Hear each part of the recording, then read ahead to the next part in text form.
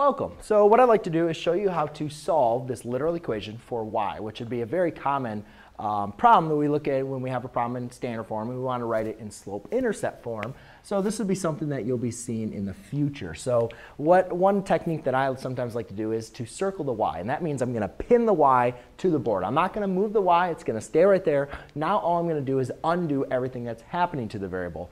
And I'm going to make sure I'm going to undo it um, by using my inverse operations as well as applying the reverse order of operations. So the first thing I need to do is look at what is happening to my variable. And you can see right here that my variable is being multiplied by negative 5. And then you can see right here my variable is being added. And you say, well, why is it being added? There's a subtraction sign. You're right. The subtraction sign says it's being multiplied by a negative 5.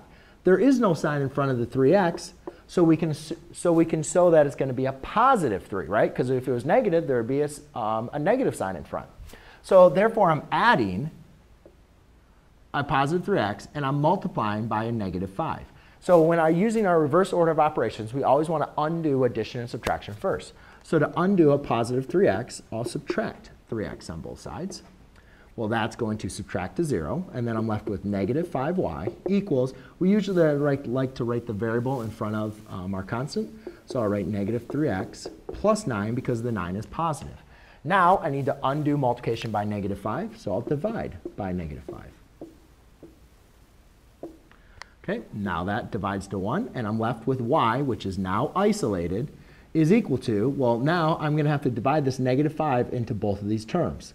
Um, unfortunately, I can't reduce it, but a negative divided by negative now turns to a positive 3 fifths x, and negative 5 divides into 9 is a negative 9 fifths.